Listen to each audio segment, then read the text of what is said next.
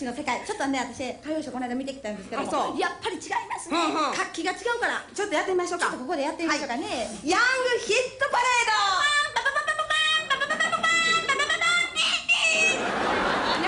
ちはヤングヒットパレードのお時間がやってまいりました、えー今日もヤングの歌声で楽しんでいただきましょう。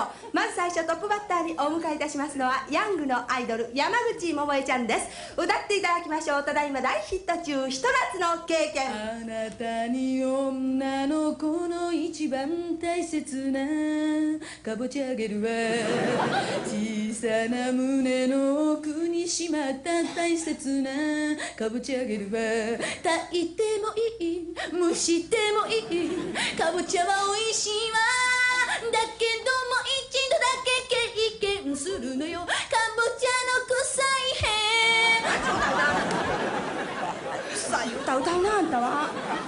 えこんにちはどうもすいませんほんまにどうも桃江ちゃんこんにちは。どうもこんにちは。あの本当夏の季節になってまいりましたけども、夏と言いましたあの痴漢のシーズンですけどもね桃江ちゃんはあの痴漢はどうですか？怖くない。ああ怖くない。あなるほど。勇敢でございますね。やっぱり夏と言いますと海の季節ですけども海はどうですか？怖くない。ああ怖くない。お化け屋敷は？怖くない。ああ怖くない。私の顔は？怖いわ怖いわ怖いわ。やかましやこんなことだけきっちり言うねんから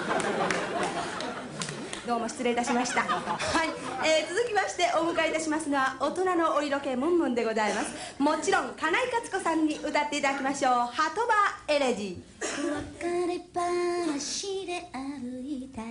港は夜明け前。愛した子供。ふふへへ。ふふはほ。どうも金井さんこんにちは鼻の調子が悪いみたいですねそうですかあの金井克子さんと言いますと西のバレエ団出身でございますけどもご存知そうです。えー気色悪い。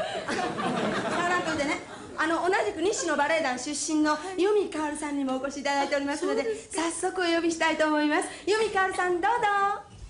皆さんこんにちは由美かおるですよろしくだですね、あのお二人に化粧法についてお伺いしたいんですけども、まずあの金井さんからお伺いしたいと思います。あの金井さんはですね、化粧にかける時間は何時間ぐらいでございましょうか？そうですね。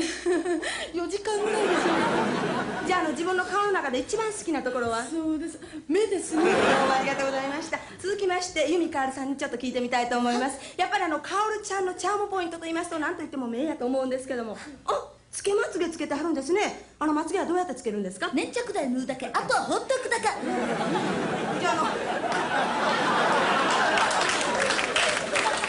古くなったまつげはどうしますか？取れたらポイ使い捨てです。どうもありがとう続きましてお迎えいたしますのはヤングのアイドル西城秀樹くんです。激しい恋。やめろと言われても今では遅すぎた。激しい恋の風に巻き込まれたら最後さやめろと言われても今では遅すぎた。